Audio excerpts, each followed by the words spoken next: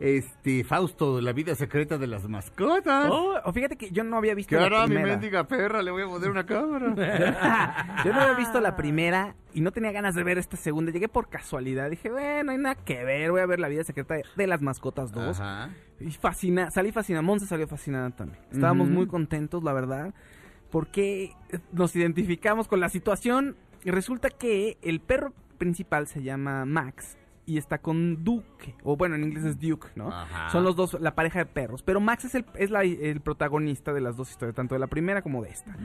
Y resulta que a su casa, eh, la, la dueña conoce una pareja, se casan y tienen a un bebé. Ajá. Y entonces, en esa situación es muy interesante, ves cómo Max va padeciendo al bebé porque dice, ya no nos pelan. O sea, est- está nada más cuidando a, a- a esta personita, nadie Ah. nos hace caso, casi que nos aíslan. Entonces, Monse y yo Ajá. nos mo- botamos de la risa porque eso le hicimos a los gatos. Ajá.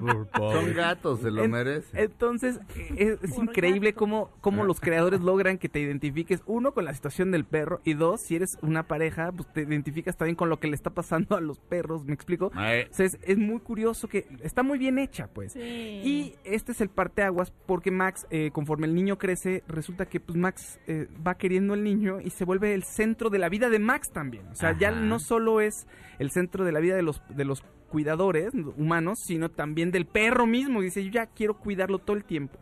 Y además le, em- empieza a dar un ataque de ansiedad porque ve que el mundo es peligrosísimo para el niño. Ajá. Como los como cuando estás papá. Cuando eres papá, también sientes que el mundo es muy peligroso. Híjole, le puede pasar cualquier cosa en cualquier momento. Qué peligroso es el mundo. Entonces, eso es un gran acierto de la película. Está muy divertida. Y a partir de esta situación, los personajes eh, tienen que enfrentar ciertos miedos.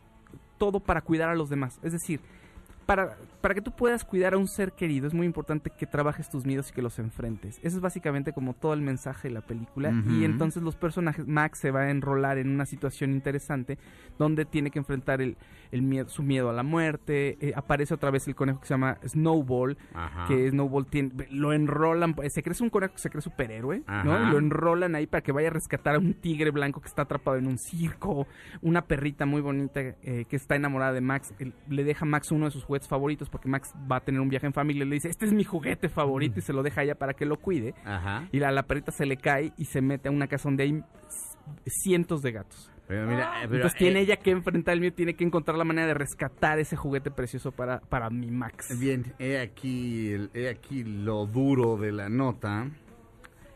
Eh, no está Luis C.K., por supuesto. No, Ah. no Luis. C.K. hacía Max.